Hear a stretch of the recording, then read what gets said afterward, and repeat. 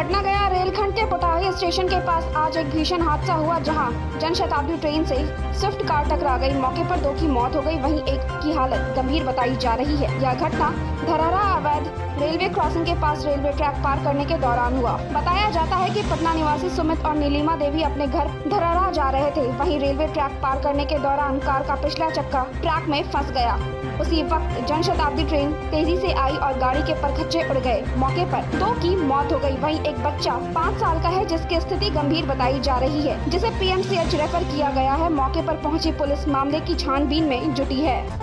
इस न्यूज़ के सह प्रायोजक है जिया अभिनव प्रोडक्ट्स प्लैटिनम अगरबत्ती, Baba Lahti Bhandar, Islampur road Muzaffarpur, Chandran I S academy making your career shine Haldiram Bhujiawala choice of India lady proud जियो ज़िंदगी बेहिचक, उन दिनों में tension free North Point children school we work hard for your success Rama hardware Jawaharlal road Muzaffarpur संजीवियस school national in spirit international in standards Vaishali institute of business and rural management institutional area Narayanpur Anant road Muzaffarpur VLCC Gola road Muzaffarpur हर घर की पसंद green India आपकी संतुष्टि, मेरी पहचान.